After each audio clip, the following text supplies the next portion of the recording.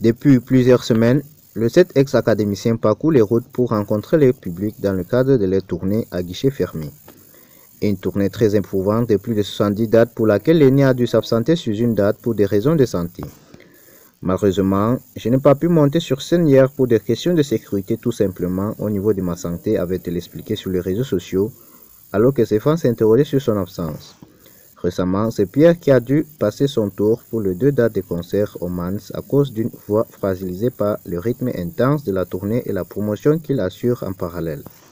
Malheureusement, si j'ai réussi à les assurer le show hier soir à Cayenne, ma voix est fragilisée. Les médecins que j'ai consultés m'ont indiqué que je devais impérativement ne pas chanter ces deux prochains jours.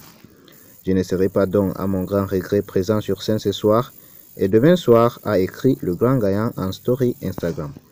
Candice, qui assure elle aussi la tournée tout en développant ses projets personnels, a récemment annoncé à ses fans qu'elle se limiterait désormais à la publication d'un seul vlog par semaine au lieu de deux.